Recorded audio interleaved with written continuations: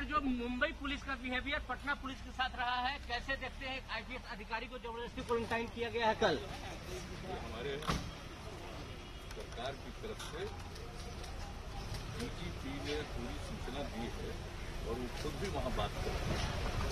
उनके साथ जो कुछ भी हुआ है ये ठीक नहीं है। ये बातचीत करेंगे। सर वहाँ क्या आप बात करेंगे वहाँ के सीएमसी से।